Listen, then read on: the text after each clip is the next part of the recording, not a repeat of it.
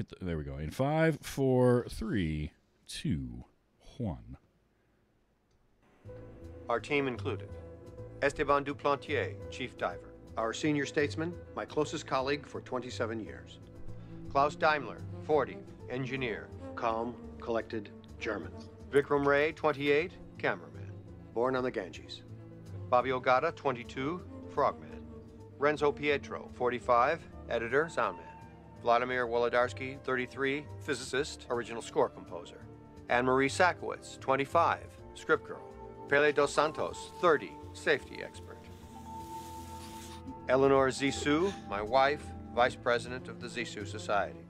We had also invited seven marine science students from the University of North Alaska to accompany us as unpaid interns in exchange for school credit. Okay, right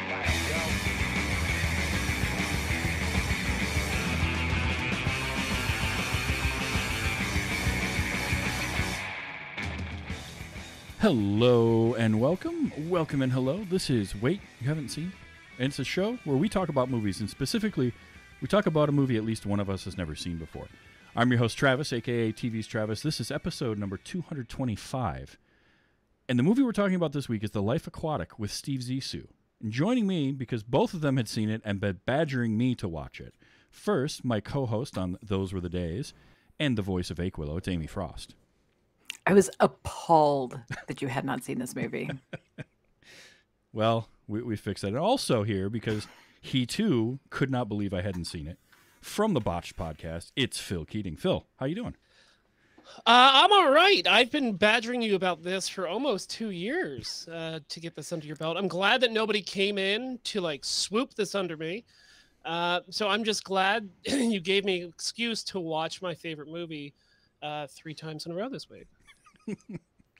So I, I always like to start things off, and I will start with the two of you since you have a history with this movie. Phil, you said this is your favorite movie. When did you first see this? Was it in theaters? Kind of give me some background on it. Uh, 2004, December 25th, I saw this opening day on Christmas. Um, you know, I was a, a wee 17 year old lad who was too cool to go to Jersey with his parents on Christmas. Uh, Catholics love that when you decide you want to do something other than go see the family on Christmas. So my best friend and his father called me up and we're like, hey, we're going to go see this new Bill Murray movie. Uh, why don't you come with us? I think it'll be a fun time. And so we got to see this opening night. And as soon as like the movie started, I was just, I was in. And I remember that when the DVD came out, I was in art school in college, and like I had a Tower Records right across from my apartment, and so like I knew exactly midnight this movie's coming out. Uh, I'm gonna go down there. I had a very difficult decision because Make Believe by Weezer and The Life Aquatic both came out on the same night, but I didn't have enough money to get both, so I took Life Aquatic, and uh, I still have that standard definition DVD upstairs. Nice. Amy, how about you? What's your what's your history with this movie? Honestly, I don't I don't remember exactly when the first time I saw it was, but this was the I think this might have been my first Wes Anderson movie in which I discovered that Wes Anderson makes films pretty much exclusively for me. And um yeah, I quote this movie constantly. I do have I could not find my red hat. I also have a Team Zissou shirt.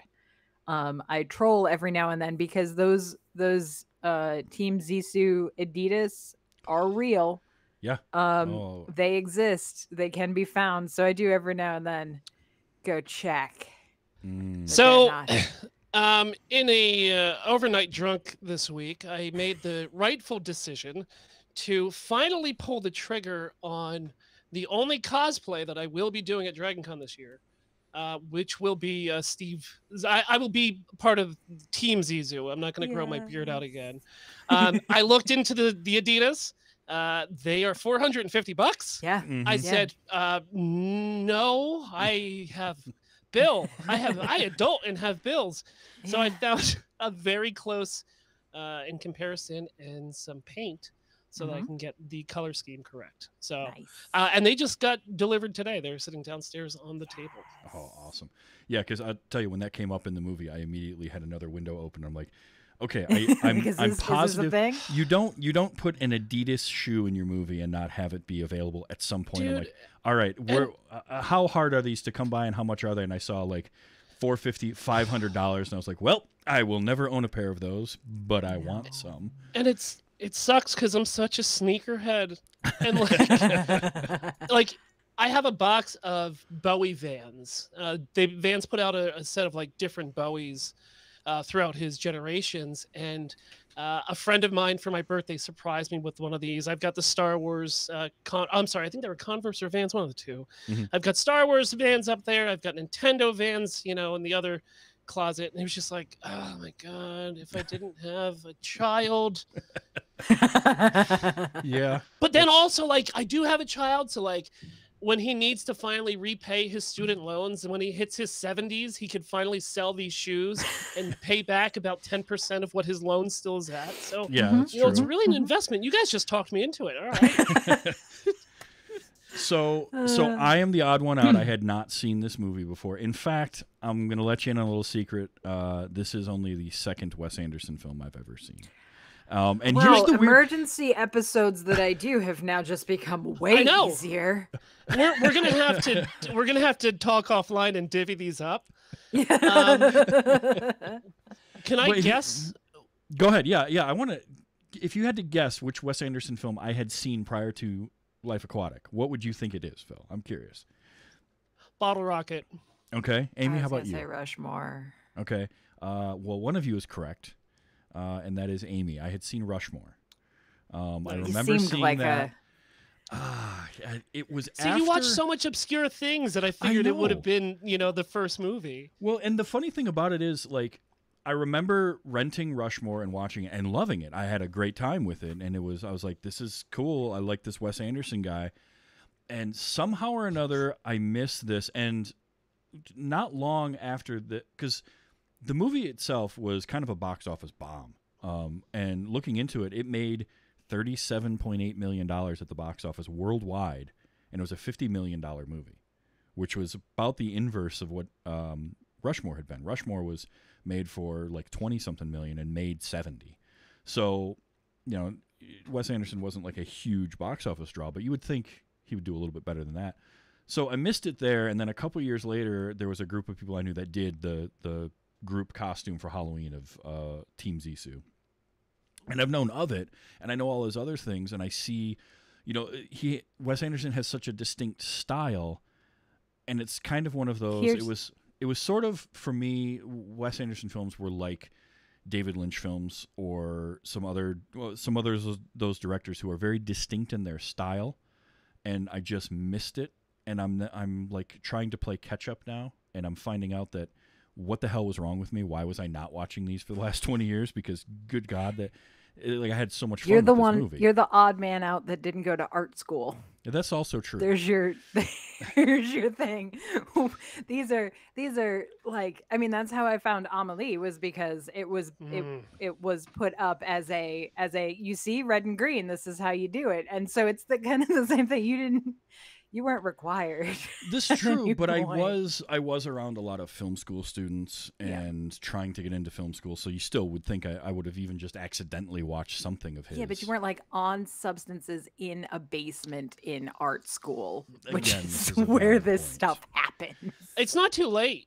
Yeah, Like Yeah, we yeah, can still just I mean, my art school is no longer around. Uh, the Art Institute of Philadelphia. Uh, it turns out they were a bunch of criminals and stole a bunch of money from people and got sued into oblivion. But Yeah. um, I mean, I learned enough there. You could just pay me, and I can definitely. I have a basement. I've got drugs, and I've got a, v- a tube television. What more do we need, Trev? perfect. There you go. There, you, I got. I have no arguments The for that. there. experience. yep. but I was so I had an idea going into this that I was probably going to enjoy it because I you know it's quir- I knew it was quirky. I knew Wes Anderson had kind of a style and my memories of Rushmore. And then it started and holy crap, it You just was it was me. it was better than I thought it was going to be from the get-go. Like Phil, you said when you saw it in the theater, it had you from the jump. And I was Mhm. the same way. Like they started it off, and you got the guy like from the moment the janitor comes out in his overalls and grabs the microphone off the stage. I was like, I, I already love this. And my notes, I didn't have a ton of notes on it, but some of them were like, I mean, here's some of the notes I wrote down. Goddamn, I love Michael Gambon. He's just Uh-huh. brilliant in this. Um, Pele might be my favorite, although Klaus is also amazing. Followed a few lines later by "Damn it, Klaus, quit being so great." Willem, Willem Dafoe's Klaus. I loved. I mean, I love Willem Dafoe. I anyway, like- but I like good Will like this is a rare good guy Willem Dafoe. Like a rare not too scary. I mean, he's got he's got some moments. But he's like not too scary Willem Dafoe. My favorite thing about Klaus is that even in his wetsuit, there's still shorts. yes, Mhm. Like it's no matter what, I'm not wearing pants. Uh, even if we got to go swimming in cold water, nope. I'm gonna get a, a swim a, sp- a swimsuit with a with just cutoffs on it. I love it. and also, real quick, since we're talking about Klaus, um, they're when they were leaving the hotel at the end. Yeah. Um, and they're all running from the explosion. They took a take where Willem Dafoe was on fire, and it was just t- it. It's so good, and um, the deleted scene is out there somewhere. But like, the angle just didn't work, or there was too much smoke or something because you know, steady shot, and then Willem Dafoe runs through the scene completely on fire on his back, and just you know, it doesn't pan; it just sits there, and it was just like, holy shit, that was such a good take. I wish they would have kept it. oh, that, that's amazing. I mean, Klaus, for me, Klaus was so much fun because a Willem Dafoe, you can tell, is having a blast, and he has that moment where he gets right up in uh, in Ned's face and slaps him, and then that that scene is it. But when they when they make the callback to that scene a little while later, it's so well done because Ned just walks up to him and slaps him. He's like, "Why? Why would you do that?" well, I owed you one, but no, and like it's just the look on his face is so perfect. He's like, you you stood up for yourself. We're we were even. It was ah, I loved that so much. Like that Oh, moment, you. No, now we're even. and he's all upset because they're even. And like storms off. Um, no, like the cast is just. I mean, is another. You know, again, I knew Bill Murray was in it. I knew, um, but and I know that a lot of these actors, like Wes Anderson, works with a lot Mhm. of the same actors over and over. Um, Yeah. Also, I misquoted. I said that uh, Rushmore was made for 21 million or so and made like 70. That was Royal Tenenbaums, which I also have not seen. Um, Hmm, Jesus Christ. Travis. look, I know. I, I kn- look, that's part of why this show exists, right? To fix these things. So, well, you, the two of you, can divvy up the Wes Anderson uh, catalog, and we will we will fix this. Um, but like I knew, you know, Bill Murray. I've seen Bill Murray in uh, in Rushmore, and I knew he worked with him. Uh, and Owen Wilson, who uh, I did enjoy in this quite a bit. Ned was a, f- a very fun character. Um, I don't always love Owen Wilson, but I do I do in this one. Like Yeah, it's it's literally this movie and You, Me, and Dupree, or those those are the top two movies. Oh, Um, I I really like was- him in the Darjeeling Limited. okay. I love so, that movie more than like a lot of a lot. We're gonna have to fight because I also agree. No, you mean Dupree? I got stuck on an auto train from uh, Florida to DC, and they only had one movie in the DVD player, and it was you, me, and Dupree, and I had to sit there for 12, 12 hours. To the point where it was like literally clockwork orange, where it's just like I'm losing my mind, but I'm still mouthing all of the words to this movie that I absolutely hate. Um, but I mean, I guess it don't- could have been worse. It could have just- been Marley and me. oh, I've seen that too. I Um, would have but jumped off the train at that point. the the good thing about well, so it was in the smoking train. Like this, they still had smoking cars when I was on this train. Okay. yeah. I I was there on my own volition, getting tor- waterboarded by Julie and Dupree. Waterboarded Um, by addiction. Excellent. A plus. my autobiography. Yeah, Yeah. thank you. Um, um, I like Ned in this movie because they reference 11 and a half, and that's kind of his his whole innocent vibe is that childhood, Yeah. you know, southern just gentleness that he has through this movie. And he you're right he never plays roles like this. So it was really refreshing to see him you know not be the, the james dean-esque kind of weird looking broken nose guy but just like this fawn who is mm-hmm. entering a new woods that he's not familiar with.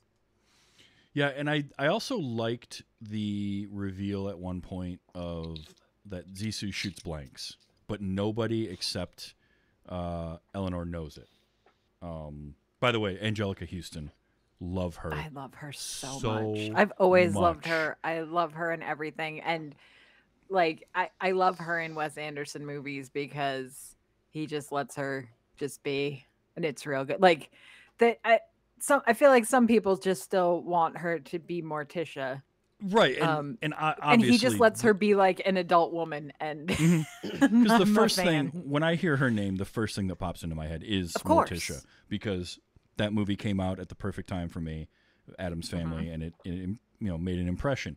But to see her in you know roles like this is so much fun because it's so different. I did just recently, a couple months ago, she was in um, John Wick Chapter Three, and I liked her in that just because it was again just a different role. She's playing like a um, I mean, it's John Wick, so she's like a way over the top kind of character. But this was great because she's just so deadpan and so funny. Like when they get to the island and she just walks up, your cat's dead. your cat's I'm sorry.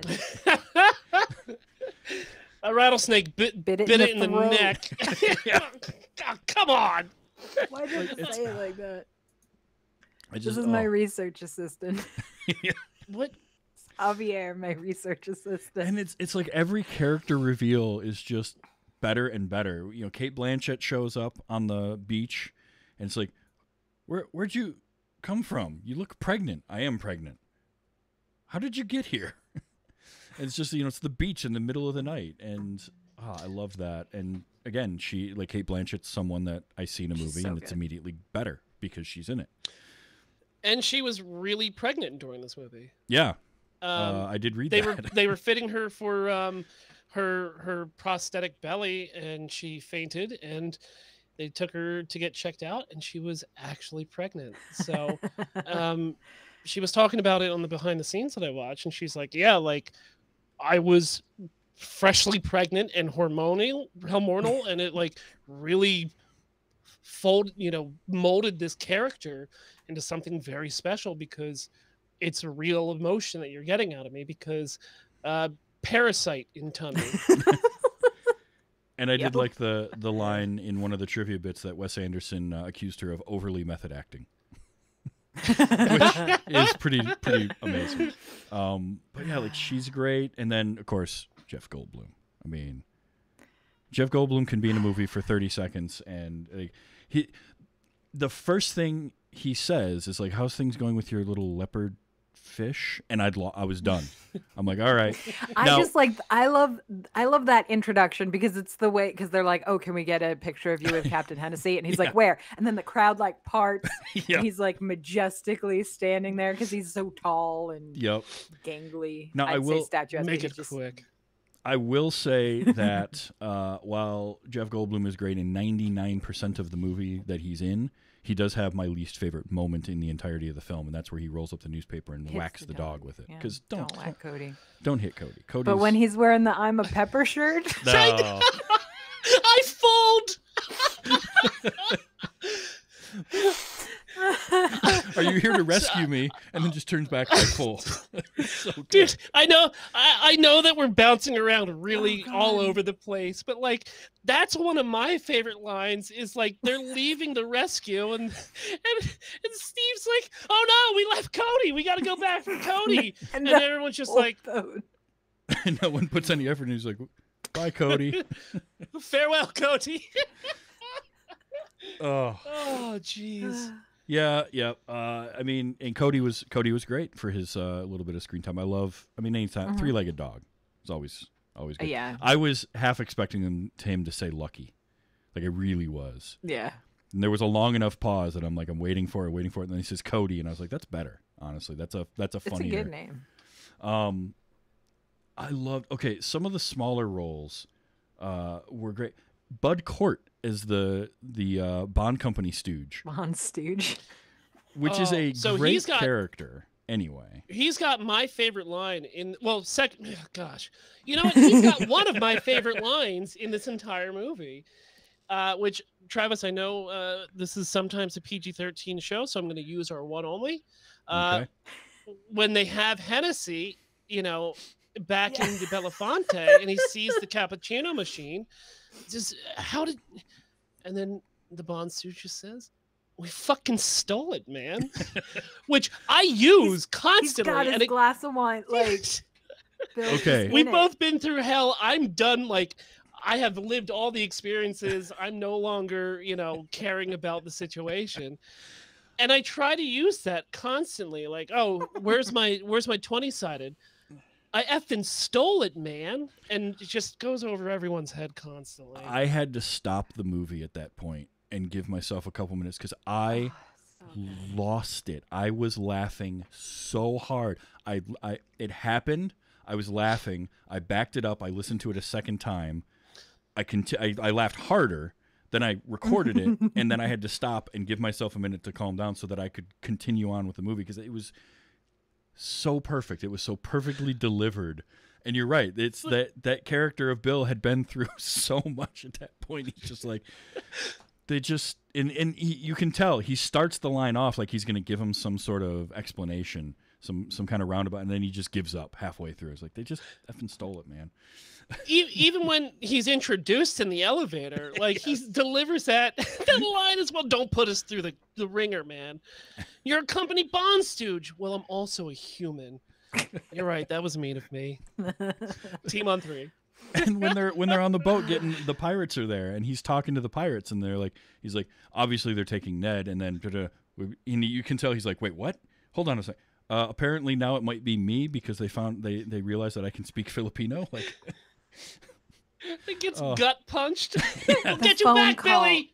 the phone call and they get the message oh, thanks for checking in bill which i love the way that bill murray delivers that line because i feel like there's something special when actors talk to another character that have their real name right mm-hmm. like i feel like i feel like the well thanks for checking in bill was like deep personal bill murray feelings and and Bill Murray is so good in this. I mean, I know that he can sometimes be difficult to work with, and there's been stories that have come out about him in the past, whether it's just kind of strange stuff on set or just uh, in general difficult. Not quite to Chevy Chase levels. Like he's not at the point where people don't want to work with him at all, but Yeah. you know, he's he, he's cantankerous at times, but he's so good when he's on.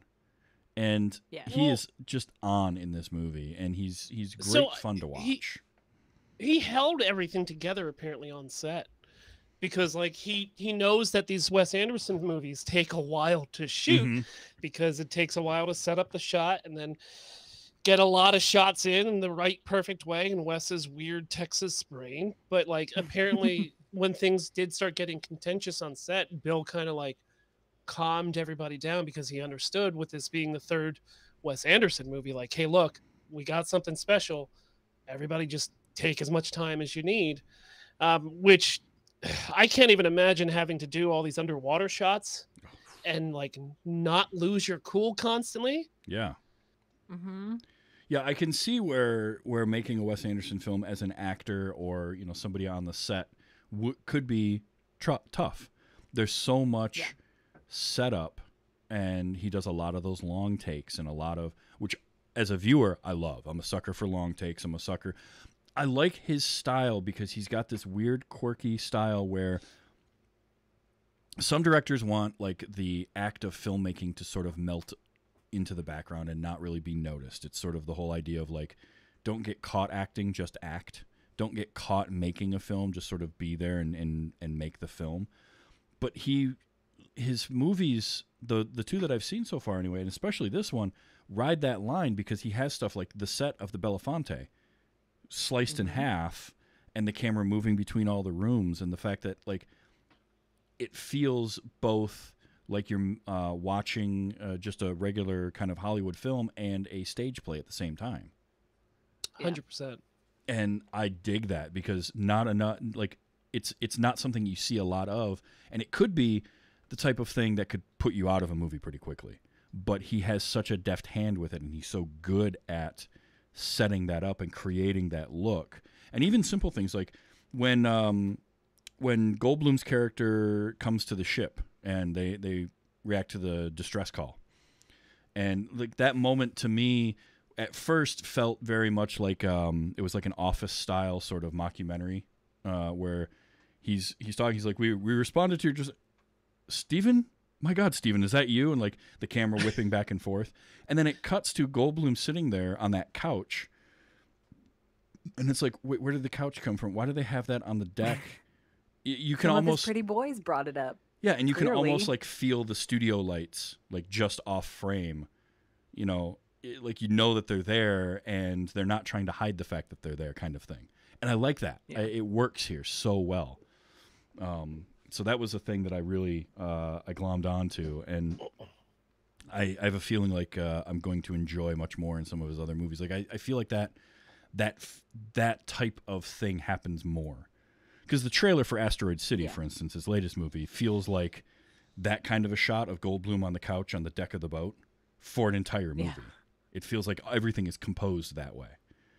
Maybe it is, maybe it isn't, but no, I I, I loved that kind of stuff. Um, I did not expect any of the action stuff on the boat and then at the hotel either. Like I don't know what I was expecting exactly. Like when I started the movie, I didn't anticipate the I, I don't even think I really knew much story wise other than, you know, he was a Jacques Cousteau kind of pastiche. But past that, I didn't know what was going to happen. So when they go on a rescue mission uh, at that derelict hotel, uh, the Hotel Citron, I was like, oh, oh, this is even, this keeps getting better. Like it just kept layering more and more good stuff on top of it as the movie went on. I, I, I could not get enough of it. Uh, and and on top of that, the music, the music throughout the movie. I mean, the reason the reason I had Pele might be my Go favorite. on. Pele being my maybe being my favorite character in the movie is after the third time we see him playing the acoustic guitar doing a uh, David Bowie cover, and then um, and I didn't know what language it in was. Portuguese. Yeah, I didn't Yeah, know it was Portuguese. Portuguese. And then I read he's Brazilian. afterwards that he translated all the songs to Portuguese and arranged them on the guitar himself to play them for the movie. But Uh-huh. in the in the course of watching the movie, I was just like, "This is brilliant." This ju- and and it was the first time I'm like, "Oh, that's that's clever," and the second, but by that third time, I'm like, "This is a brilliant running gag that they continue to do with him." And my favorite one is when the pirates are floating up in the background, in the foggy background, and he's just playing it completely. Well, he's on watch. Yeah, when Yeah. he's on watch. Oh, They're not good. They're bad. they're, they're very they're very bad at what they do, for sure. Yeah. Well, that I Um, mean, this whole movie is about failure almost, Yeah. Yeah. right? but yeah, when he's on watch and the ladder just clinks up, but also like. This is a known problem. Like, who the shit is Kingsley Zissou? Like, they've been having watch problems the en- this entire trip, Yeah. and still can't get it right. But, dude, Seu Jorge, man, like that Sue dude. George. I have seen him live, um, and it happened by mistake. Um, I went to Bonnaroo in 2005 because Radiohead was one of the closing night uh, acts, and so when everybody was loading in on the Thursday morning, uh, they had a couple smaller bands, and so I went down there, and Seu Jorge was on stage, and I like I exploded. My brain. I was like, "How is there only 300 people here right now? Like, yeah. this is incredible." So, like, I got to hear a lot of his Portuguese uh, music, which was just yeah, wonderful. Like, just so uplifting and just uh, like literally body moving. And then he would bring in a couple of these Bowie covers as well, and I'm just like.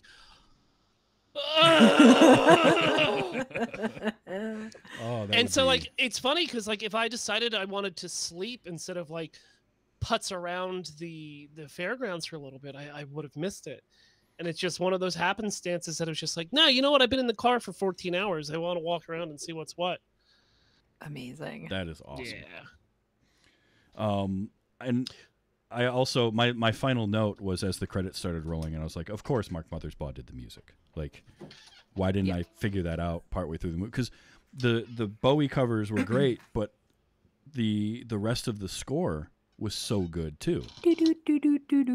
Yeah, it's it's that It's so good. Casio keyboard like demo Mhm. music is so I definitely perfect. didn't learn that on my cat keyboard like a couple minutes ago before we went live. Um, but I mean, this is the this is Mothersbaugh's third movie with with Wes. He did the first the first four of them, and like, it's funny because like each one of these movies has a different feel, right? Mhm. Um, yeah. the, the R- Royal Tenenbaums has that regal, posh, uh, very string heavy original music, and it's you know such a diversion to change to these electronica, almost kind of like broken down Devo songs that really never hit like the B sides, Mhm. and he's such a beautiful genius when it comes to music and scoring. And um, you know, the more you dive into Mark Mothersbaugh, the more you realize that like he's done most of the music through our childhood, Yeah. and like all these cartoon Mhm. shows uh, is composed by him. And like, I And- feel like he's one of those people that can see music, right? They they hear it, and there's I forget the name of it when when it you can physically see. oh like like uh Like- like synesthesia. Kinesthesia. Yes, synesthesia. Thank you. Yeah, Yeah. yeah, yeah. I bet because like and and the thing is a good musical score whether it's an orchestral one or something a little more off the beaten path in terms of movie scores should fit the the movie. Like John Williams when you when you bring him in and he does you know Indiana Jones like he gets that feeling of adventure and it you listen to the Indiana Jones theme and it just makes you want to get up and like run out and do something uh crazy like like riding on the back of a truck you know by by a bullwhip or something weird like that like it's just that kind of music drives you to do that the the thing Throw with people off zeppelins. We're just exactly naming yeah now. just Yeah. for whatever but what was so great about this was that that music fit the feeling of this like ragtag group that It's the music that their budget, their budget the budget Team could do. Zissou yes. budget could afford. Mhm, exactly and that's that. the thing. If like if you take a close and a real close look at everything inside the Belafonte, we first off we don't know what year it is, but No. nothing's been updated. No. like nothing has been updated. I mean, they have Steve real. even Steve even says when like you know this is the kitchen. It's got the most advanced equipment on the Yeah. ship. And if they had money, they wouldn't have to rely on Eleanor's parents to get him out of jail every time, and that whirly bird would have been inspected years ago. true But like just to see the we- the reel to reel and Wolodarsky having all the different Casio keyboards to work on the scores, man, it's just like there's nothing I love more than like old tech. I Mhm. love 70s and 80s tech. I love it. Like if I go antiquing, that's exactly what I'm looking for is these old old tech pieces for me just to take apart and put back together. And so that's why like the inside of the Belafonte, just like every time I watch it, I find something different, which is like, oh look at that. I need that. Can I also say uh, on the Belafonte itself, um, I, ca- I I caught on to the naming uh, early on, and then then I read in the trivia, but I remembered that uh, Cousteau's boat was called the Calypso. So to Mhm. have Yes. your pastiche of Jacques Cousteau and it's Yep. the Belafonte, I was like, oh, that's inspired. Like that is I just, just some like- good writing right there.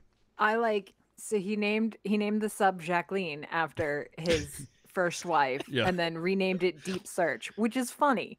But the better part is that he has her name tattooed and he also just crossed that out and wrote Deep But it's the same on the sub as well. dude. oh, And like So I thought about it, I'd be like, that would be a really funny tattoo for like three of us. Right? and like not even three people that are like prevalent in my life. It would be like random people at Dragon Con would be like, I would do something like this to scratch my shoulder, and like somebody 500 yards away would, would shout and be like, definitely worth it. They would just hold it." up their they would just hold up their team Zissou junior member ring. and be like- And you know what? I would write them uh, on my correspondence and have a red cap and a speedo sent their way.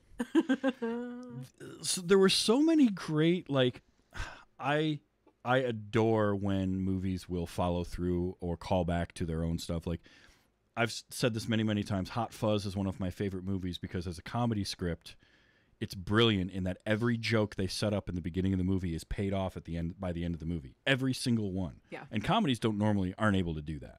Not a lot of times they just don't execute that well. But they set up so many jokes at the beginning and fire them all off. This movie did that too. Like you see the ring early on, and it's then it's not mentioned again until they have their little fight on the deck, and he sucker punches him, and he's like, "I think your team Zissou ring caught me in the lip," and like I had forgotten about the ring by that point, and so you're bringing that back and reminding me of it, and it made me laugh. Or the the the chopper, the the whirly the whirly bird, like that becoming a thing Chekhov's later on. helicopter. Yeah, Now, did he? Did he? He gave that Ned's ring to Werner, right? Uh, Yeah. Klaus's nephew. at think the so. end. That's what he gave him, right? yeah. I think so. Yeah. Yeah, yeah. Yeah. So it's just like that's one of the last shots of the movie, and it's just like what a beautiful bow uh, to tie this up with. Because one of the And first movie, scenes man. is is Werner giving hi- giving Steve the the rainbow. Uh, Crayon. Oh yeah, the crayon, crayon, uh, uh, ponyfish. s- yeah. Ponyfish. Yeah. sea pony, Ponyfish. whatever it was. That Uh, the stop. uh, By the way, the stop motion leopard, stuff. leopard I mean, we- the stop Did we- motion. We haven't even talked about We, the haven't stop talked about it. Oh god. So this is going to be a four-hour podcast. I hope So good. everybody's ready. I think I think my favorite one is the um the mating crabs, That Yes. the is stripy very good. crabs. Yes. It's like that's mating, and then It just rips, rips off one of their arms and walks away. Is that mating? and and I knew I knew that Wes Anderson did some stop motion stuff because I know of Fantastic Mr. Fox and Isle of Dogs. I've seen the trailers for those. I still haven't seen the movies.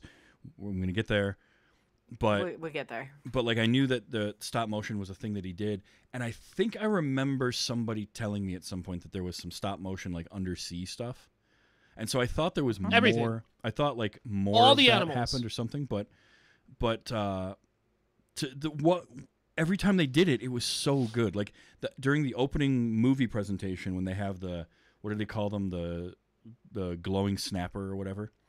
The neon. Yeah, and they have that shot of um, they they have the the Esteban. shot of Esteban, like horribly blue screened, you know, thumbs up with all of them swimming behind him, and I was like, oh god, that's so good, and it just, again, it just got better from there every time.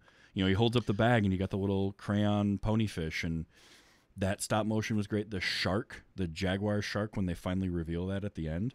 Uh, Uh-huh. My note on that was, "Holy cripes on toast! That's a big shark." It's a big shark. because you So, realize all, all those the sub- people are in that sub, and that shark Which only sits. it. It only sits six. right. Yeah. and they think um but all the stop go anim- uh, stop animation was just done by henry selick Yeah. and so like That him makes and so his much studio sense. took Mhm. took all of this on and just really would send in test puppets and then wes would have something to say and then they have to go back and start back again. But like it was crazy because for the jaguar shark to have it look since it was such a big puppet to have it look like it was floating and swimming through water they actually inverted it so it was upside down.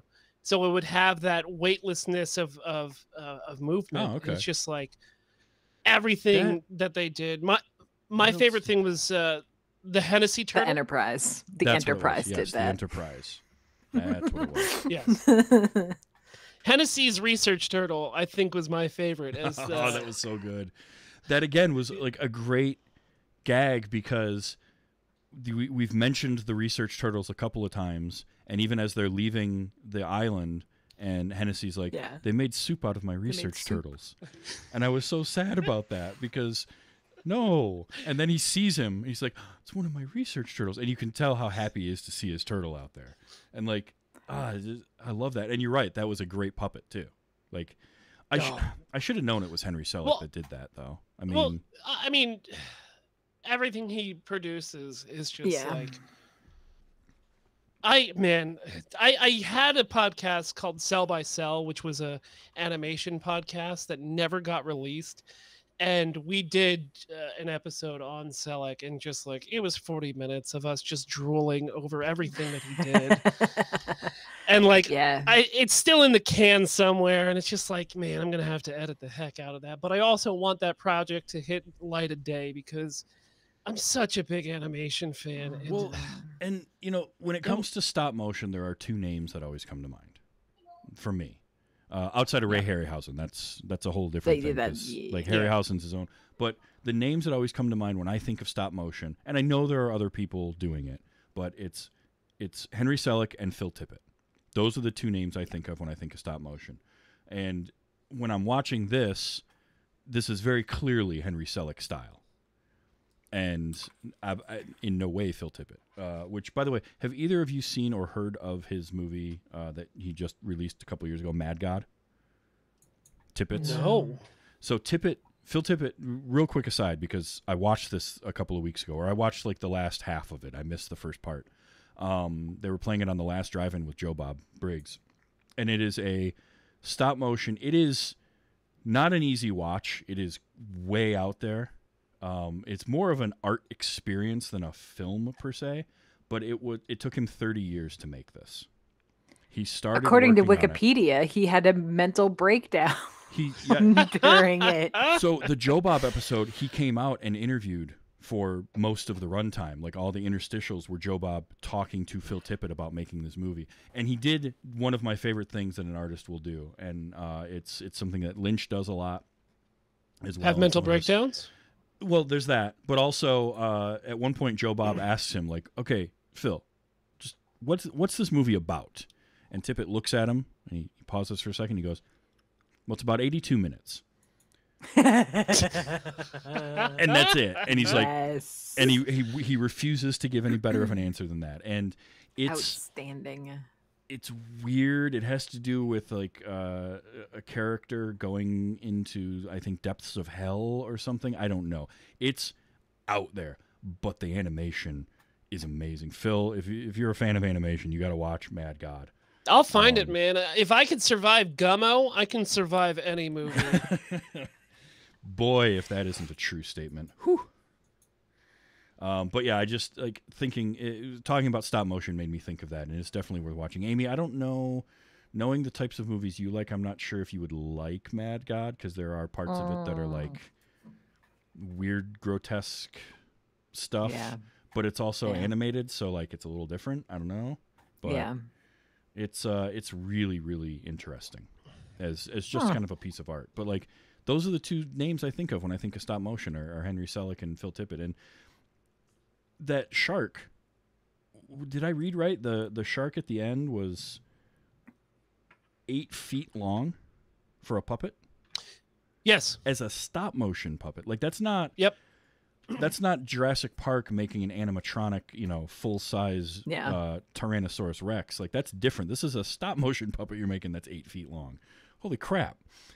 Which is sometimes the normal size of like a normal actual shark. Yeah. Yeah, Yeah. It seems that's like if you if you ask me how big a shark is, like, yeah, that's a number I would give. Yeah. About eight feet. You know, I don't know.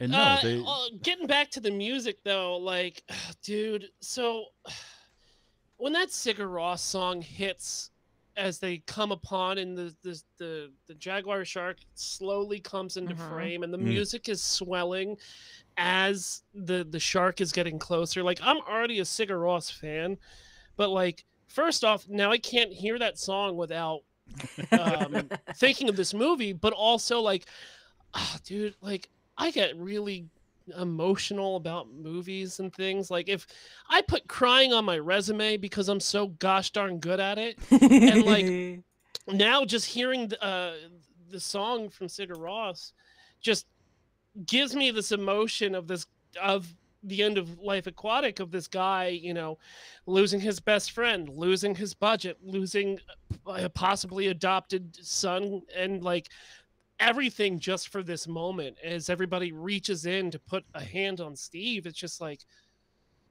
oh I can't. And real I also. I can't do Ned's funeral with that zombie song playing. Oh, like and- zombies, if you ask me, zombies favorite band of mine from the 60s next to the Beatles, right? Mhm. The Zombies Odessey and Oracle is one of the best records ever made and like I can't hear that zombie song during Ned's funeral that and not just break down, you know. Even like if I'm driving to work and I've got Spotify on and that song comes on, it's just like, ugh, fine, we're gonna sit through this 280, but I'm not gonna be happy about it. it's it's one of because music is such a thing that touches us emotionally anyway like and then you know good artists matching music to a scene in a film just amplifies that so much more. And now you've like you said you can't hear those songs without connecting them to this movie. There's certain moments that do that and you create those indelible memories. And it takes the right person or mix of people to pull that off. And that's what makes uh, like sometimes it's done to great um, emotional effect the way that this is. Sometimes it's just that like i can't hear i love uh, miserlou by dick dale i've loved that song since uh, i was a small child i remember hearing it and just falling in love with like this just sounds cool i've never heard anything like it before but i can't hear that without thinking of the opening of pulp fiction now because it's Yeah. so tied into it for it tarantino knew it's like uh, the opening for reservoir dogs as well with little green bag Yeah. I can't Yep. separate those two. Um, a lot of the musical cues that Edgar Wright uh, comes up with, that guy just is brilliant at putting music into his movies. It's one of the reasons why Baby Driver is such a fantastic movie is the way that he used music in it.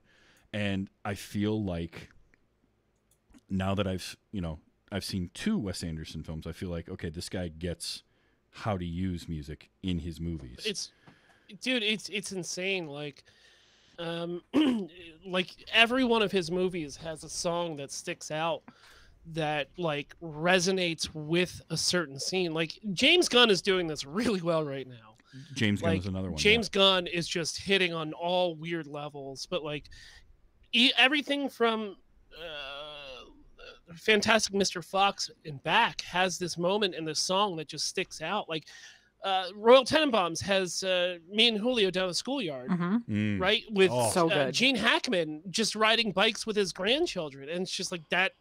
When I hear that song, man, that's exactly where I go. And um, you know, there's um, "Play with Fire" by the Rolling Stones is a pivotal scene in the Darjeeling Limited, and like I hear that Stone song, and I'm just seeing the train flash by with different scenes going through.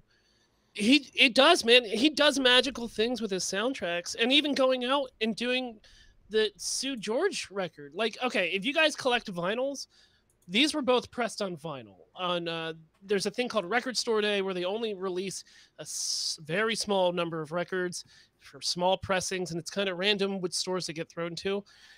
But they've been pressing wes anderson vinyls every so often and both this soundtrack and the Seu Jorge soundtrack both came out Mm. and i was stuck at work and so i didn't have the opportunity to go out there and as a record collector and a wes anderson film and my favorite movie it was just like well how much could it be on ebay oh clo- close Oh. to them shoes huh Oh. okay mm. okay All right, all right, all right. and now Yeah. it's not that bad. They're only about like 150 bucks, but it's still more than I want to spend on a record. Yeah.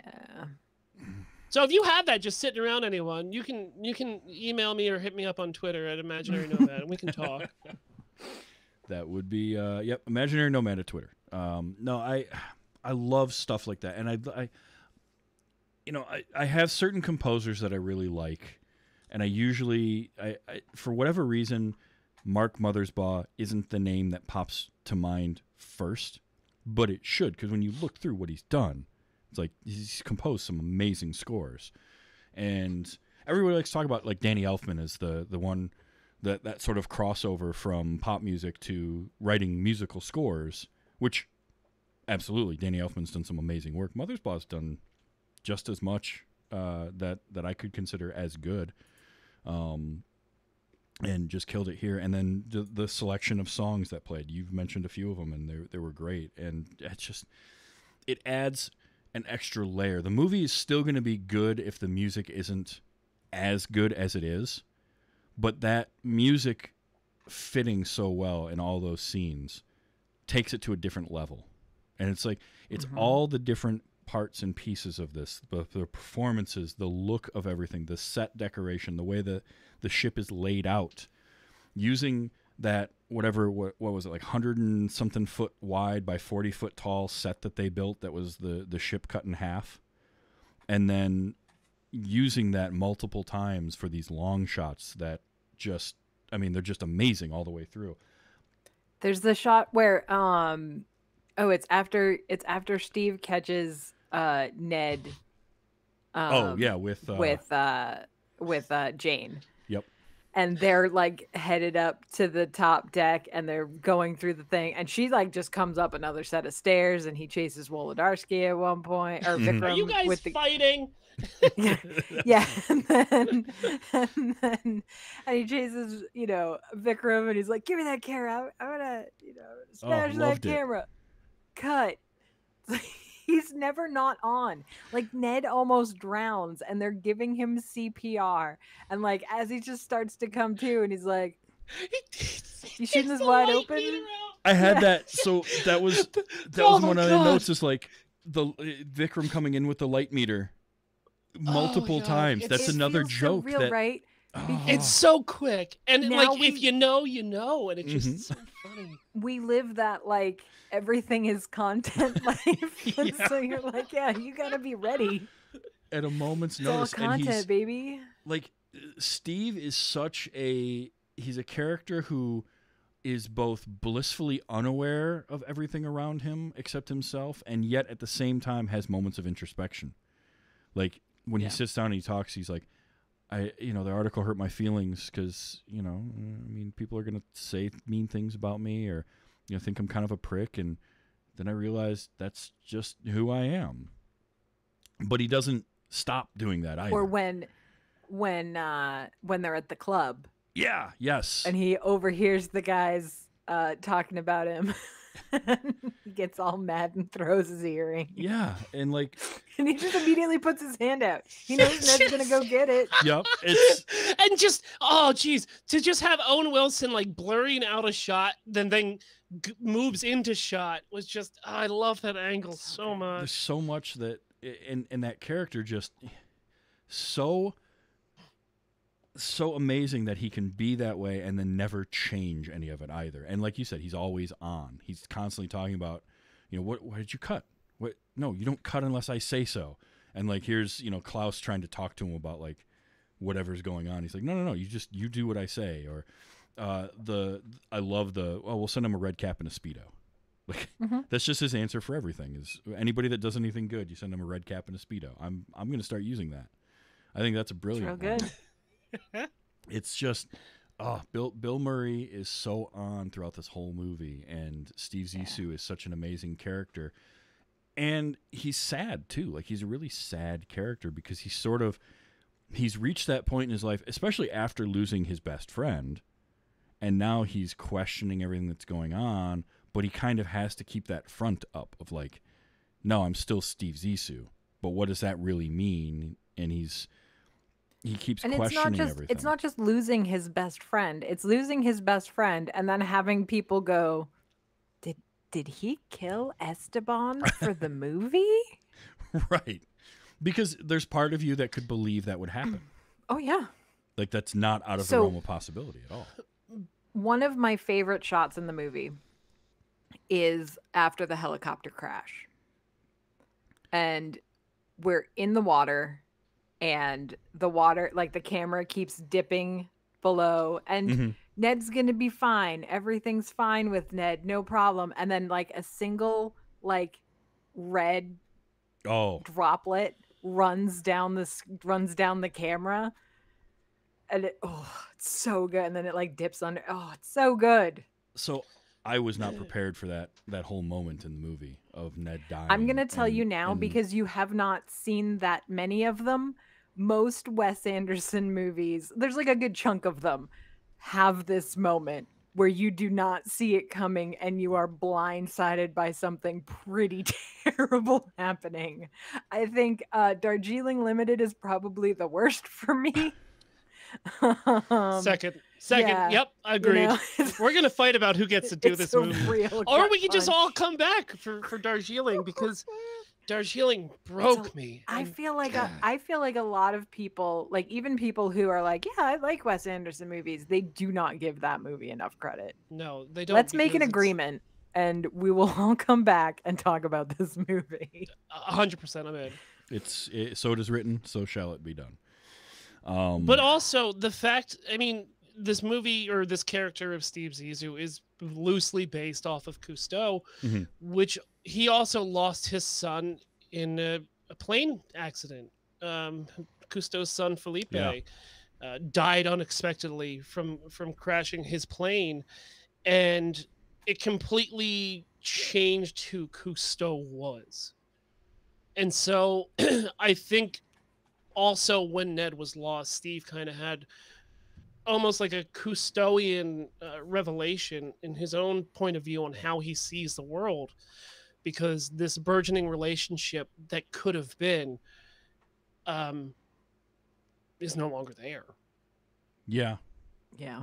yep, and, And also, when when you lose Esteban, right? Um, everybody hated that movie. So it's like not only did you lose your best friend and partner that you've been with uh, creatively for I don't know, let's say roughly twenty to thirty years, but a nobody believes you, and then c everybody hates your movie. right. Bravo! What fun! I just don't think they got it. That It's just like that. underrated that line- scene, right? Like when when there's the Q and A, right? And he's like, "Well, I'm gonna hunt it down and I'm going to kill it." I don't know how. Maybe with dynamite. He's like, "Well, it's a dynamite." it's an endangered species at at best. Like, what scientific purpose would there be to killing it? Revenge. Revenge. Yep. Oh, But it's funny that lady in the hallway delivering that line good. about like, oh man, I good job. Nobody understood it. I just don't think it worked. Literally could sum up my career in podcasting. Just like, Bravo. Hey, man, I know- bravo, you you did you definitely put those hours in, didn't you? Yeah, it was it was rough. Yeah, nobody liked it, but I'm glad that you keep doing it. the the best is uh the you know no seriously, and he's like, well, I could have done without it. You I know, needing to use the word need to say seriously, but I'll take it. Okay, I I cannot I cannot let us continue without talking about Anne Marie for a minute. Okay, yes. because I love Amory. Amory under underrated character. Um, Amory twenty five script girl, topless, hundred percent of the time until a moment, and this is like my my deep, ridiculous feminist reading of it. So, so because even in the party scene, you can see her in the background, but when when Ned and Steve are talking, and she's wearing a shirt, but it is completely sheer. Like she is not. So she's basically topless until Eleanor leaves. And she then has to become the voice of reason to this group of idiot boys. and then she gets to put on a shirt because now she has to be the grown up and not go through unprotected waters. It's only an inch and a half. I it, there's just no problem. We're just going this way. That's you know I didn't think about that, but you're right. That is when after after Mhm. Eleanor leaves is when the next scenes we see with her. She's wearing a shirt and Yep. uh, you know standing up to to Steve and telling him like you can't do this. I didn't think about it that way, but that's a good reading into that. Because my my only The line was other like thing- you know Anne Marie just topless all the time, Yeah. which I thought was a funny which I thought But was a she funny is- running gag. no, but then she's the Yeah. most intelligent person on the boat Yeah, that she's- never gets a say in anything. Yeah. And then um I it's a it's a real good like image of the Zissou brand in that right because it's like the oh you're all down here on the beach in your matching pajamas. Except they're not like they're all blue stripy pajamas but they're not all the same. Like we've all got blue sweaters with a Z but they're all different sweaters and the Yes. Z's just been sewn on like we're making our own merch out here that was and I such support that. that was such a good like subtle thing to have in there Mm-hmm. too. Like all the, the, bulk hats were a order little is bit 50 different. units. Right. Yeah. Like I can't. I, Yeah, I all don't the need hats are 50. u- different. Yeah. Yeah. I loved it. And it's everybody's little own personal styles. Like Mhm. Yeah. um, uh, Ned has the uh, The little take off your pants and stoplight. jacket st- stoplight, right? Yep. Klaus has his little puffy ball. Mm-hmm. Um, I think even in the wetsuit, my favorite thing uh, was Seu Jorge's uh, hat. Yeah. His like uh, uh, um, almost like um, a fat Albert character, you know, exaggerated hat. Yeah, It it was was. just like, what is the point of that? I don't get it, but I love it. I want to say it was like a pull over like the hood, like but it wasn't pulled over. that would come down and tuck into the oh wetsuit. yeah, okay, yes. It was that, but he just had it resting on top of his head because I was like, "What the hell hat is that he's wearing?" It's amazing. I, I loved that. That's that was oh, everyone like all those little things make me want to watch the movie again just to try and notice more of that because there's so much Yep. going on in every one of these scenes in every one of these shots, and I know I missed a ton of it. Um, and I'm definitely going to watch this again because holy crap! I mean, it's just it's so good all the way through. What the hell's wrong with me not watching Wes Anderson movies? Actually, I picked up something new this time through. Um, when they're watching the old adventures of like either the Arctic or they're showing the VHS of like Mhm. our vault contains all this money.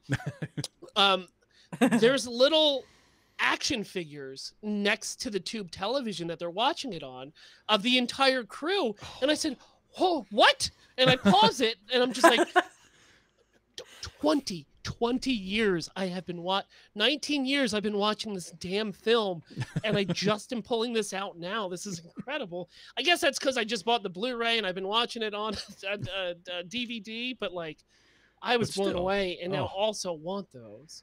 W- Mhm. Yeah, I'm gonna look for those and and see if I can find them or something, or maybe maybe I'll see if I can print some. 3D print them Mm, and then you Um, can paint them on stream with your miniature painting stream. there we go. Um, And like was- both of us had birthdays, so like well. I also uh, a couple costuming things that I loved. I loved uh, Jeff Goldblum's glasses, which were apparently Mark Mothersbaugh's uh, frames, and they're those thick, but they were silver. I thought those were great. Yeah. And Gambon's uh, Oseary, his glasses were Mhm. awesome, and those were apparently modeled after Ennio Morricone's. You know, tiny little Italian man, and Yeah, yeah. tho- like I saw those frames. I'm like, I kind of want a pair of those. Those are cool looking. Like I always, I always look at these quirky glasses, and then I realize, no, nope, they don't make them for ogre-sized heads like mine. So I couldn't get them. They don't have those on Zenni. So I'm yeah. out. Yeah. Unfortunately, Yeah. I have to figure out a way to like custom build that that kind of stuff. But um, no, I just ah, so- assistant Philip. All right. For like a hot second, I was like, wait, that's not is that is that Adrien like it looks not unlike Adrien Brody. What is it? No, no, no. It's Noah Baumbach, who just happens to look exactly like Adrien Brody. It really does. You're not wrong. Which is just weird. There is like, if you if you squint, you could definitely That's what I'm In- saying. I was, I was like, is it? like out in a club or in a dark room in a in a bar somewhere, you could see either one of those and be like, eh, it's 50-50 which one you're looking at. Yeah, just coin flip.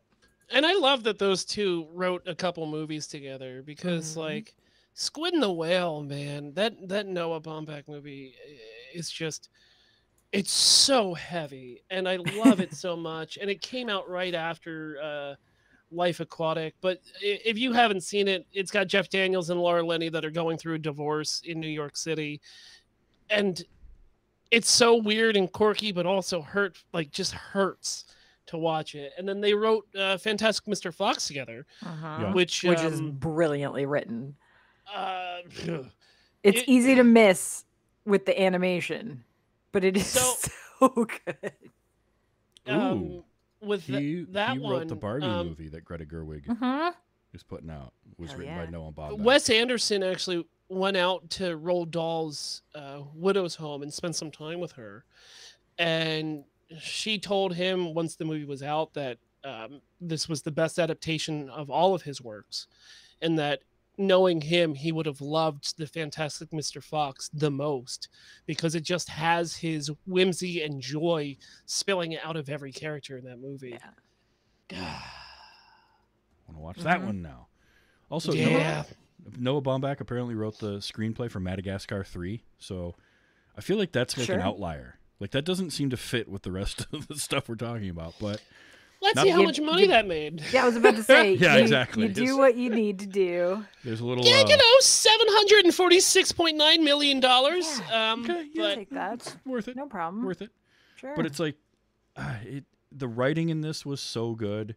The direction is is so great. I did capture some audio clips that uh it's all it's almost all either Steve Zissou or um Hennessey because they just had the quips throughout the movie. So who, who do you who do you want first? You want Goldblum or you want Murray? No, just go. Just go. Just All right. surprise. yeah, just play them all at once. So I mean, here's a line that I'm going to be using a lot now. Remind me, we'll send him a red cap and a speedo. Like that's just going to become part of my lexicon. It's just it's just going to happen because it's so good. Mhm. Um, let's see. Oh, No, congratulations, seriously. Seriously. I wish it didn't require this seriously, but thank you. also they get to the island, uh, and they're they're peering in at this what used to be a hotel, and it's just like you know it's the pool that has a little bit of water left in it, and the only thing he can think of is What a shame. They had a bartender here, Kino, made the best rum cannonball I've ever tasted. Mhm. If I had had the stuff. My for it, other I'd favorite line from from tonight. from the island that I use a lot is swamp leeches. Everybody, check. it. Am I the only one that got hit? What's what's the deal? yeah, I had. And so I'll, I'll Nobody use that, hit? right? I'm the I- I'm only the- one? What's the deal? it was so I use it, right? And people look at me and they're like, "What the hell are you talking about?" It's like, I'm the only one who got hit. What what's the deal? And everyone's like, uh, "All right, man. Oh, okay. Okay, Okay. okay, weird person. You just calm down. um, it, that was yeah. So Nobody else got hit? I'm the only one? What's the deal? that's such a, a good Bill Murray moment. Um, Mhm. even the the introduction of Jeff Goldblum and then you know, cut to Goldblum talking to Anjelica Huston. So here's Hennessey talking to Eleanor, and then Steve just kind of slides into frame. And he's just Don't be nice to Ellie. He's my nemesis. He's my nemesis. And there's so many great moments like that between where two characters are talking and it's just a non sequitur into something else, like Oh, Siri, this is uh, probably my son, Ned. We just met. How delightful. this is probably my son. we just met. Probably my son. And uh, Michael Gambon, just the perfect response to that is like, oh, how delightful. Like, I just, oh, I love Michael Gambon so much. Michael much. Gambon is fantastic. so much. Um, Not only that, but like he meets Ned, he needs to go out and, and hit his joint yeah. before he can like really just focus on what's actually happening right now. You caught me with one foot over the edge there. man. Yeah. one foot off the merry-go-round. It's so good. That's it. I love that. Uh, I, I think Phil, you quoted this one. I want to say it was on Twitter uh, earlier this week Mhm. um, or last week, Mhm. and and finally, you know, hearing it in the movie, it made your your tweet made so much more sense. I knew it was something from the movie, but I just loved. Well, if you'll excuse me, I'm going to go on an overnight drunk, and in 10 days, I'm going to set out to find the shark that ate my friend and destroy it. Anyone that would care to join me is more than welcome. And unfortunately, I didn't have enough characters to do the whole thing, and then also I had to make it, you know, fit what we were doing. Yeah. Uh, but I did hold to that tr- that promise. I did go on Yeah, an overnight good. drunk that That's night. important. Good You know what? I'm a man of my word. consistency. It's what I ex- that's what I hope for. you know, I have to put in the work. You know. Yeah. hmm Uh, let's see. This one's just labeled music. Method podcasting. It's meth ed. There podcasting, we go. I'm not sure what music. Why I labeled this one music, but here we go. Supposedly, Cousteau and his cronies invented the idea of putting walkie-talkies into the helmet. Dancing. But we made ours with a special rabbit ear on the top so we could pipe in some music.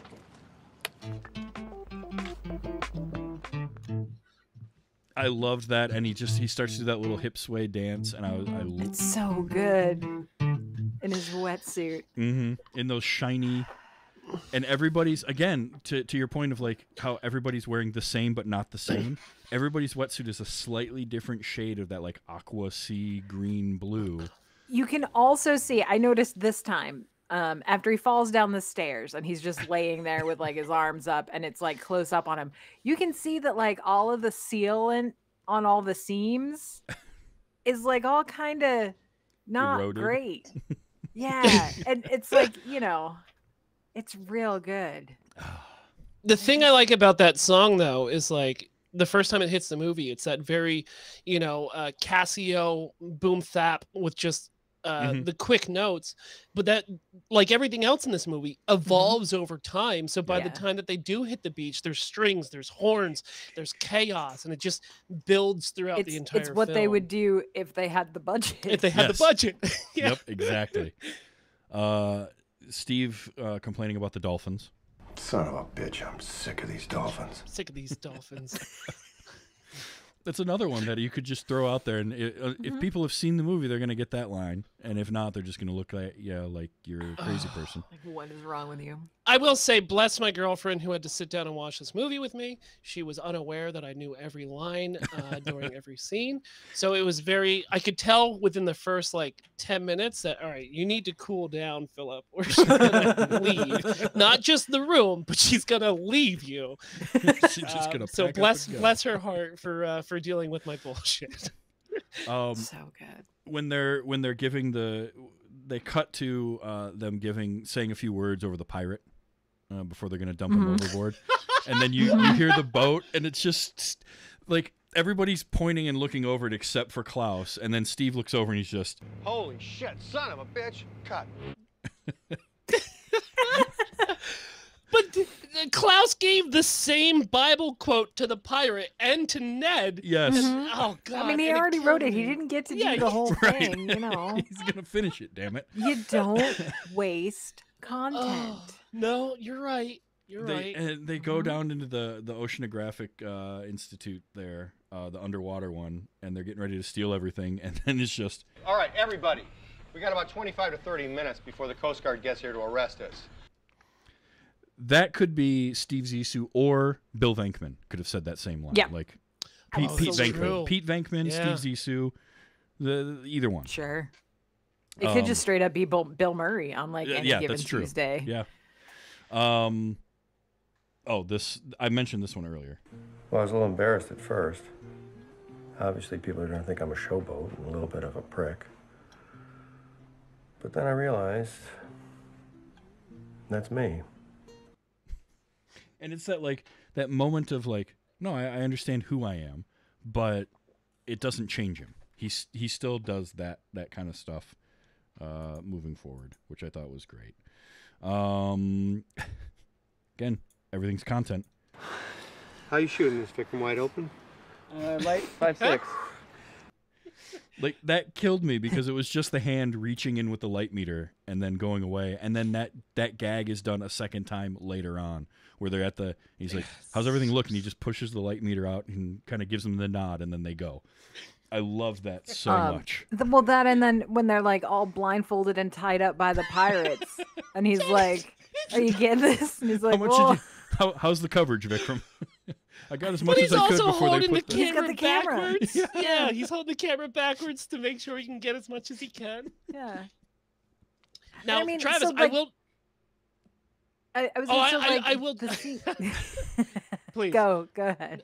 So he he's also in the Darjeeling Limited as Is well. he okay? Um, as one of the more prominent characters, and like he was good in this movie. Mhm. He's fantastic in Oh. Darjeeling. hmm Oh, I can't Uh. I was gonna see the the part after the Ned scene is actually where you, as the audience, think that maybe Steve did let Esteban die Yeah. because he's having the conversation with Eleanor, and she's like, "Did his heart stop before you pulled him out?" And he's Well, like, yeah, but we got "Well, him started. Yeah, again. but we got him going again. We got him going again. It's fine." Um, let's see. This I don't remember what this one was. Nobody else got hit? I'm the Oh. only one? What's the deal? Yeah. What's the deal? I, just played Yeah. that one. out. And then this this was another one of those. It's it, just a perfect moment. Can you hear the jack whale singing? yes. Beautiful. He's like, no, that's the tugboat over there. That's Oh, the sludge tanker. yeah. the sludge- Oh God. Ah. oh, There well, he's from Kentucky, you know, Yeah, landlocked. There's some pretty country out there. uh, and we got a we got a couple of uh, of Hennessey uh, moments here. Mhm, Um, mhm. Let's see. Uh, this is just Jeff Goldblum, I love it. and I mean it's just I love it. it's the way he says that. Uh, If you're, uh, what do you call it, a leopard? Fish? Jaguar shark. Le- leopard. Jaguar shark. Oh, that's and um,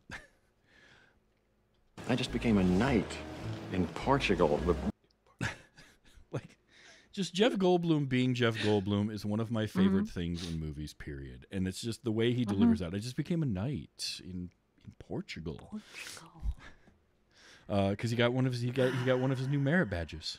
That was that was such badges, they're That's called. such a good, good. exchange between him and Anjelica Huston too. So good. I mean, I know we said it, but gosh darn, man, I love her so much. Oh, so good. like I, I, she was wonderful for for me personally. Like uh, when I saw her a couple years ago in Transparent, the show on, um, oh, I was blown away. Yeah. blown away because like I've I've literally have since I was born have fell in love with her movies and each movie she gets just a little bit better and a little bit better. And so to watch her on Transparent, it was like just full evolution of just there's nothing you can't do. And I'm here for all of it. Yes. Uh, and final, uh, Jeff Goldblum, uh, and this was. I love this because it's set up by him telling Steve, "Neither one of us were ever very good husbands." yes. Yes, this is my I was excuse as well. I have a good excuse. Yes. I'm part gay. Supposedly everyone. Which I have used multiple times in my life. he says that to him, and just I got to play it one more time because it's just Of course, I have a good excuse. I'm part gay. Supposedly everyone is. And then they just have they just have the little hug, and then he just walks away. He just his head's off down there, and it's just it's so good. Uh, well, and it's so good because Steve, the whole movie has been like, well, I always thought he was a closet case. Yeah, he's Like, making all these lines He's got all of his like, like, his all all of his like, you know, Hennessey youth boys on his boat. We're gonna have to gonna have to crew up from scratch next time. Jeez Louise, Jojo Hennessey. Yes. The Hennessey youth. Oh my god. So yeah, uh, those those were my audio clips. I had one other really cool, uh, really interesting little um, uh, trivia bit that I I just it laughed, and when I was watching through a second time, I noticed it was um, the one intern who is played by an actor who's actually Wes Anderson's like assistant. He uh, when they're when they're doing their workout in the background, he he sprains his ankle and you watch him like you watch his foot come down and i watch it twist and he goes down and that's the shot they use in the movie and i like the reasoning behind it because he wore matching socks that day which is apparently bad luck for him. Like every other day he would wear mismatched socks and the one day he wore matching socks they did that shot and he twisted his ankle. And that just cracked me up uh, but yeah, they, this movie was his first movie, and it like it kind of jump started this this kid's career. I remember, I know this is really weird, but uh, I remember seeing him after that in this very strange Robin Williams family movie called RV. Mhm. oh Um, yeah. and and then I saw him again uh, in one of my favorite heartbreak movies that I put on when I want to feel sad and, and just dive into it is 500 Days of Summer. He's in that as well, and Yeah. um I always enjoy him whenever I see him come around. Yeah, and I think like this got started. He was just he was Wes Anderson's like production assistant basically, and this started his career in acting. He's done. He was Simon in the Alvin and the Chipmunks movies. For like Oh, well, random there's your paycheck. Yeah, Yeah. but yeah, Five Hundred Days of Summer. Um, there's something else I've seen him in. Oh, he did a voice of Riddler in Batman: Assault on Arkham. That could be interesting. Ah, Oh. interesting. Huh. But it's just funny how some some careers start like that, where you just you just happen to be like an extra kind of joke character, and you can build a career out of it. So Yep. good on him. But I just thought that was hilarious that uh, the the story behind it is that he wore matching socks for the one time because I guess his grandmother had told him that mis uh, mismatched socks was good luck, Sure. so that he always did that. I don't mess with what grandma says. No, no, you never mess with grandma wisdom. I um was he was he on the outro run? I, I don't remember if, if the intern number one was was on I the outro. think uh, so. Nico, I'm sorry. Yeah, Ned He's- corrected us. His name is Nico. Nico. If if Nico was on the um the Buckaroo Banzai stolen outro run, Yes. that I'm Oh. Pretty sure he is, I but I want to say remember. so because he, I mean, he, as the one intern who stayed around, which That's was the a- one intern left. Yeah. that was the Steve great. slaps him on the shoulder. oh God. God, Steve. But he's he's going to give him an A though. He's getting an A for Yeah. at, at University I'm not gonna North fail Alaska. you, but I'm gonna give you an incomplete. I'm gonna give you an incomplete. for the mutiny. oh, the, I can't believe I slept on this movie for almost 20 years too. I have Neither no can we. I have no valid reason for it. This is right up my alley in terms of the kinds of like cuz I like a lot of different movies. I don't fall into any specific categories, but stuff like this is great because it is not your normal movie fare. It's not um, you know, kind of your Hollywood action movies or your Hollywood dramas or standard sort of comedies. It's a little bit different than all of that because Wes Anderson's a little bit different than everybody. And hmm uh, now that I've seen two of his movies, I'm uh, I'm going to say that uh, he makes movies that I like, and so I need to Mhm. watch well, the rest here- of them now. Here's here's the great thing, and I would love to take a line out of this movie that uh, this is an adventure, and you're you're right right uh, on on the uh, Joseph Campbell wheel. You're you're right at stage two, right? Mhm. Uh, the call to action has happened, um, and it's great because even though this is my favorite movie of all time, it's most certainly not Wes Anderson's best movie. And No. I, I'm excited. It's up I- there. Trav, man, I'm really excited uh, to come back every so often as uh, you, me, and Amy cover Wes Anderson, so I can watch you. You know, it's like watching, uh, introducing uh, my favorite band to you know my kid, right? Uh-huh. Like I get to experience this this something that I love through the eyes of of of a new perspective, and it's gonna be fun, man. I, I'm excited. Like I, I know I'm hijacking your show and just telling you that we're doing this now, Yeah. but that we're doing this now. I'm sorry. Like you, I'm all you for open it. the door, you open the door, and like I'm missile kicking my way through it. I can't wait. Well, and you know, you know how it is. Anytime you're so attached to something and you show it to somebody else, or you let somebody else experience that, there is that little bit of trepidation where you're like, "Are they going to like it or not?" Did either of you worry that I oh, wouldn't dude. like this? No, I know you better. Than No, that. not at all. Yeah, yeah. Yeah. I, All right, I've been fair. there, right? I've been trying to push like neutral milk onto people, and they're Mm. like, "What the hell is this dribble?" It's just like it's a masterpiece. you mispronounced masterpiece, uh, but no, dude. I I knew for a fact that like this was your mo, and Yeah. that you were going to love because, dude, with you and movies, it's all about the writing, right? Mhm. um you you always look for good writing and you always love long panned out shots. Guess what buddy? We got a lot of them in our future. I'm a sucker for both of those And I knew that- things. and i knew that like you love a good soundtrack that makes sense and has cohesion and like is used properly to bring out emotion and just it's gonna be fun. I'm excited No, good. I, I am excited too. And Kurt is in our chat, and he was saying he felt the same way about Twelve Angry Men. And watching that for the previous episode, I was blown away by how good that was. Like, that's it another. was a one. really good episode you two I I had a lot of fun with that because that movie there was a lot to chew on in that movie, and I like I'm still processing and thinking about uh, a lot of the stuff in that in terms of like how I can use what was in that movie to help debate in my life in general because it's such uh, there's so much you can learn from that.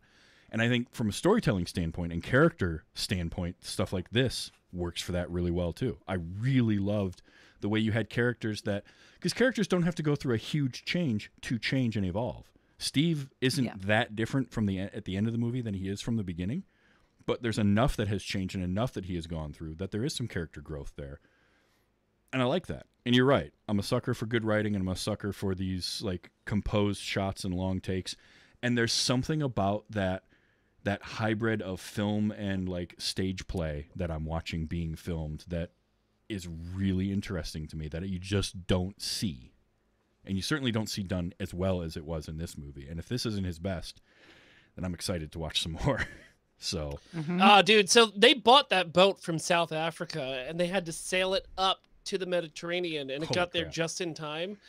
Um, for Darjeeling Limited, they just said, "The hell with it. We're buying a train," and then they turn it into kind of like the Belafonte, but yeah.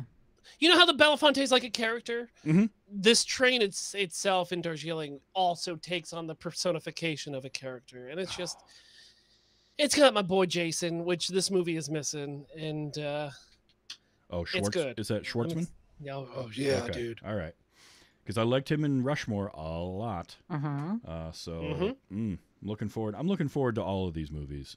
Um, and should. thank thank you both of you for badgering me and beating me down to finally get me to watch this movie because uh, I owe you for that, big time. It's all right. Yeah. We'll send you a red cap and a speedos in the mail, and uh, Perfect. Um, now next week I'm going in a slightly different direction. Uh, we're going to go back to 1991 and uh, a fun little action movie called The Rocketeer. I'm going to watch. Uh, Katra, who used to be known as Ace, is coming back. We're going to talk because they've never seen it, and I love The Rocketeer. That's just Yeah. like as a fun. This is this is how you make a family fun action movie, based off of uh, a, Heck pro- a product that uh, you know nobody's ever heard of before. Um, the, in the Rocketeer, because I remember when this came out, uh, so I'm super looking forward to that. And then after after the Rocketeer, we are getting into August. Everyone knows what August means for this show. Cage of Cage. Palooza? Yes. heck yeah. So lots of fun Nick Cage stuff going on, uh, including I will finally, finally get to watch Renfield.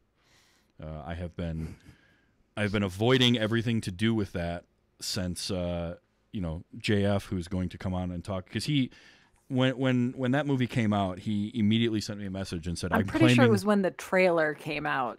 He was like, "I'm claiming, even think the I'm claiming Renfield for this year's Cage of Palooza." I was like, "Fine," and then he went and watched it. So, I, so I've had to wait. Um, but I'm also getting somebody to watch Face Off, and I can't wait for that. That's gonna be fun because that movie is bonkers as hell.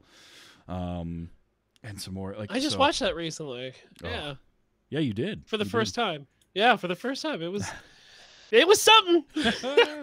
oh, I can't wait. Uh, so that's that's coming up. Um, but uh, thank you both so much for being here this week. I'm gonna start with Amy. Amy, let people know about uh, stuff you're working on and where they can find it. We just wrapped up season six of Achewillow. Um, so you've now got a lot of hour. It's like over 55 hours, I think, now of um, quality audio storytelling. Um, it's a lot. Um, and you can find that at achewillow.com or wherever you get your podcasts. Um, I have a bunch of things in the works. I just moved and I'm settling into my new space. But once that happens, a lot more stuff is going to happen. Uh, so you can follow me on all the social medias. All of them? Probably. I'm active more on some than others. But Twitter, Instagram, uh, newly Blue Sky, uh, threads, Ko-fi, if you want to follow me there, because I guess that's the thing I could post on. I am literally everywhere as Daniora, D A N I O R A. Excellent. I just finished uh, listening to season six of Achewillow, and I loved it. So Excellent. definitely, that's one of the those story podcasts that I tell everybody about because it's just that good. You and JF kill it with that. And Phil, what about you? You you work on a bunch of different stuff. Uh, I am the imaginary nomad on Twitch, Twitter, Instagram with a one. You can normally find me on Twitch Sunday nights playing uh, horror games because I hate them, but the community loves them. We're currently playing through Outlast Trials, which is uh, it's dreadful. It literally is dreadful. I don't like doing it. I have you guys pay for the games for me to play, and I hate doing it, but here we go it's this like uh, there's a, a viscera of pure terror that I can't produce unless I'm in this game. Like I, I love scary movies, I read horror novels, but once these these game like once I get into LS Trials, it's it's really really rough.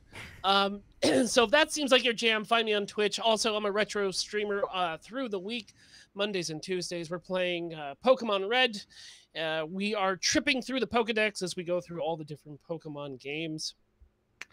I'm on Botched, a D&D podcast. It is an improv comedy show loosely draped in the rotting skin of E 5e D&D. We're finishing up season 7, which uh, was our cowboy season, and season 8 will premiere down at DragonCon in the Hilton main ballroom this year. Uh, we got Oh, the big room, so come check us out at DragonCon. Uh, we'll be doing SCP. If you don't know what that is, Google it like I did and dive into it. uh, if you're not watching those for the days, then you can come over to twitch.tv slash botch podcast on Monday nights as we do botched films. Tomorrow, if you're here live, we are watching the 2022 American Christmas action comedy film, Violent Night. So if that is up your jam, you can come watch it with us and have fun. If you like uh, Mr. No, we lost him, Oh, we lost him. and he's coming. Oh no. back, And Maybe. He's back. he's back. I I can see you. That was weird. You lost me. Yeah. Yeah. Oh my god, I didn't lose you guys at all. Uh, if you like Mystery Science Theater but want it done shittily by people in Pennsylvania, uh, check out Botched Films every Monday night at 8:30 p.m. Eastern. Excellent. Uh, I have No definitely- puppets, just people wearing masks saying that they're okay when they're actually not. Perfect. Thank you both so much for being here. This was great. It's it's always fun to get to do a show like this with some of my favorite people, and then to get shown a brand new movie that I haven't seen and get that get get that turned back on me is is is so much more fun. Um, so thank you, thank you so much, and uh, we'll definitely um, we'll definitely be going through the rest of Wes Anderson's catalog, and uh, and the two of you have that. Um, it's it's it's the, it's one or both of you for each of those movies. It's a- it's all right, man. We I would love to co-parent if you're okay. With it. Sounds great. we can work out a schedule, Yeah, and yeah, and, yeah, and yeah, you know what? Um, I'll be the stricter parent. Because I've got rules. But and and this show uh, is live every Sunday night, 8 p.m. Eastern time, right here, twitch.tv slash TV's Travis. You can hang out in the chat, be like uh, Kurt, uh, Katra, JF is in there. Um, and uh, it's always fun to have people in the live chat. Show comes out on Wednesdays, anywhere you get your podcasts. Uh, you can go. You can follow me on all the socials as TV's Travis. Uh, I'm not on Bluesky yet, though. I'm not. I'm not cool enough for that. Um, but everything else on TV's Travis uh, or tvstravis.com. You can find links to everything there, links to my Discord, uh, and uh, things like merch. And there's a Patreon for this show, patreon.com forward slash WYHS, or uh, a link through tvstravis.com. And patrons get uh, special access to things on the Discord channel, the monthly um, movie catch up nights, and my upcoming video series will debut on Patreon first, and there, there will probably be longer versions that are less cut up for uh, content uh, ID stuff on um, on YouTube. So definitely check all that out, uh, and come on back next week for The Rocketeer. I can't wait for that. That's just going to be super fun. So for Phil and for Amy thank you so much for being here. Uh, get out, enjoy your movies, stay home, enjoy them. That's fine either way, uh, but be excellent to each other.